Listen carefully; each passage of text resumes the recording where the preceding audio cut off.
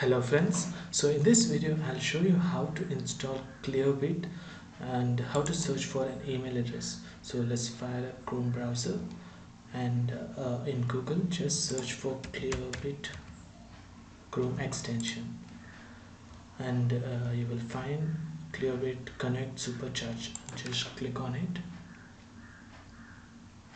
And from uh, chrome extension website you will have to click on add to chrome so it will ask for the permission again. Just click on add extension.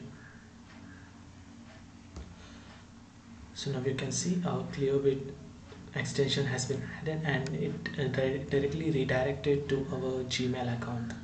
So this is where it lives so uh, on the right hand side you should see a icon here.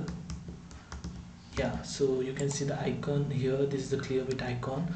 So just click on this and you will see you have uh, I have already used two. So out of 200 I have already used two. So you'll get 200 credits per month. So uh, if you want to find anyone's email address just click on this and uh, enter whatever company you ha have to. Just enter their uh, domain name. So for now I'll type Lenovo. So I can see uh, different companies by Lenovo and uh, I'll go for the first company here you can see various people working for Lenovo.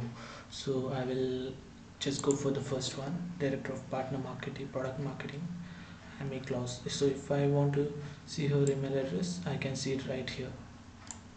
And uh, we have a direct link to her uh, LinkedIn profile also. So basically this is how you can search for the email address through linkedin. You can search for various other job roles other people's etc yeah i hope this video is useful to you. So if you like this video subscribe like and share. Thank you